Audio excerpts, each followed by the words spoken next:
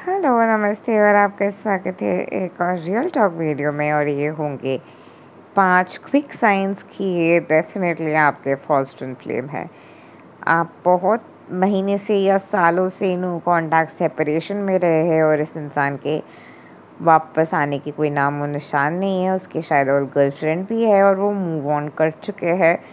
और वो शायद आपको कह भी चुका है कि वो मूव ऑन कर चुका है और आप जो है सोच रहे कि नहीं, वो नहीं, उस वो ये कह चुका है, पर वो ये मीन नहीं कर रहा था। डीप डाउन वो ये कहना चाहता था कि वो वापस आएगा एक ना एक दिन। ये इंसान जो है आपको कन्फ्यूज़न में रख के गया है which is are point number two ये इंसान जो है आपको कन्फ्यूज़न में रख के गया है और आप बहुत ज़्यादा कन्फ्यूज़ हो, आपको पता भी नहीं है कि आखिरकार क्या चल रहा है? फ्यूचर में क्या होने वाले है? क्या ये इंसान वापस आएँगे या नहीं? बट आप जो है, वही सिचुएशन में स्टकअप है, क्योंकि आपके पास लिटरली कोई ऑप्शन नहीं है। And you like why me why me because you just do not know how to move on point number three आपके अंदर ये थॉट है कि प्यार जो है वो बहुत सफ़र करके मिलता है। आप अगर बहुत ज़्यादा सफ़र करोगे, बहुत ज़्यादा तरपोगे किसी के लिए, किसी के लिए इतना ज़्यादा वेट करोगे तो लोग सोचेंगे, आपके एक्स के फ्रेंड्स स्पेशली सोचेंगे कि आप महान हैं और सब सोचेंगे कि आप महान हैं। आपके एक्स सोचेंगे कि आप इतना ज़्यादा महान हैं और देखेंगे कि आपके प्यार कितना ज़्यादा प्योर है और आपके प्यार के प्योरिटी देखते हुए, आपके प्योरिटी के एहसास महसूस करते हुए, आपके एक्स जो है, आपको समझेंगे और वो इम्पोर्टेंस देंगे कि यू सो इम्पोर्टेंट हो दैम पॉइंट नंबर फोर कि डेफिनेटली ये इंसान आपके फ़र्स्ट ट्विन फ्लेम है। आपको लगता है कि इस इंसान के साथ ट्विन फ्लेम्स के सारे साइंस मैटर करते हैं।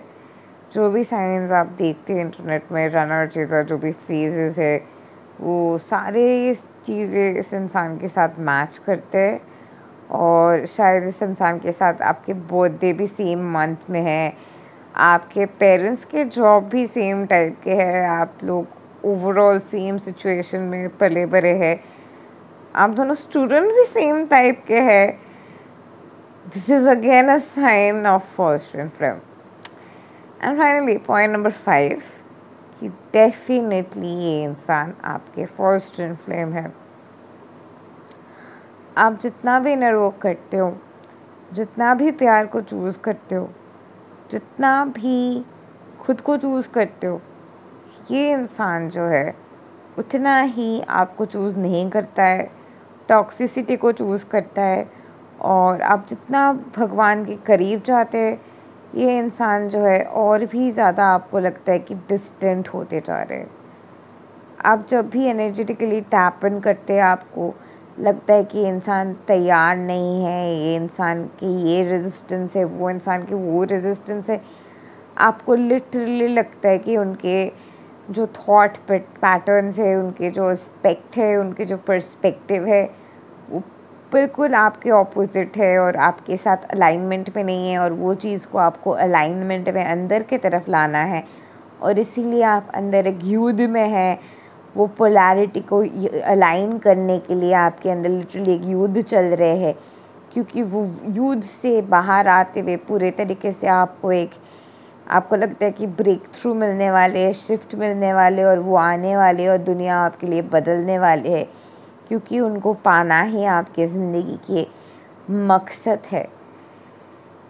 So if you resonate to this signs then definitely this person is your first in film I know you feel very best me because when I used to hear these signs and I was not ready and I used to be like नई this is true to in film sign only this person does not know but i told you all of these things from my personal experiences and trust me these are the signs of false twin flame the faster you get it the faster your twin flame enters the faster the blistering pain in your heart leaves that's i guess most important for that वो छुपते हुए दर्द को निकलने के जो आराम है वो आराम सबसे हसीन है।